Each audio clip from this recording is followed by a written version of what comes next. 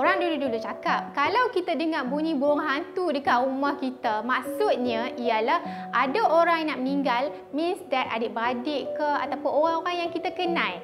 Betul ataupun tak?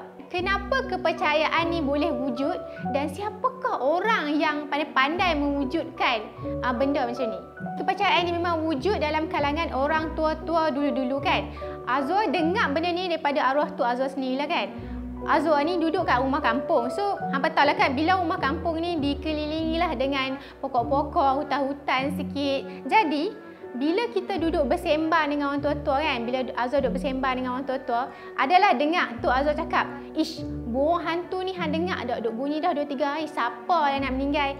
Kita ni kan sebagai orang muda yang berada di situasi macam tu, kita rasa macam Ish karut lah. Buat apa? Apa kena mengena burung hantu dengan orang nak meninggal? Lepas tu, tak tahulah sama ada kebetulan atau apa, ada orang kampung Azwa yang meninggal. Jadi disebabkan oleh kebetulan ni bagi Azwar, Azwar rasa macam in between lah antara nak percaya ataupun tak dengan kepercayaan ni. Tapi kan bila fikir balik, kenapa kepercayaan ni perlu ada dalam kalangan orang tua-tua dan kenapa sentimen ni diterima? Azwar rasa salah satunya adalah sebab haiwan seperti burung hantu tu jarang ada dekat kawasan uh, orang yang percaya benda tu.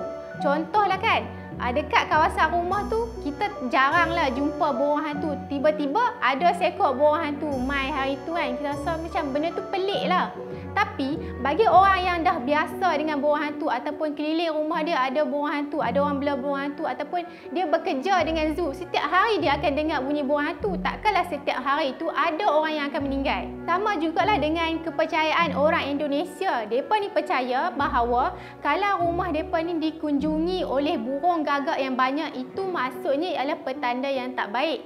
Tapi kan kalau dilihat dari dari uh, rakyat Malaysia sendiri, kat tempat Azwar ni, kat tempat Raja Azwar ni dekat hujung belakang tu bercambah sangat burung gagak. Setiap hari Azwar jumpa.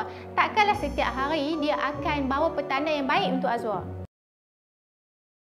Mitos-mitos ni semuanya macam kepercayaan saja bukan betul pun. Kadang tu jadi tu sebab kebetulan saja benda tu nak jadi.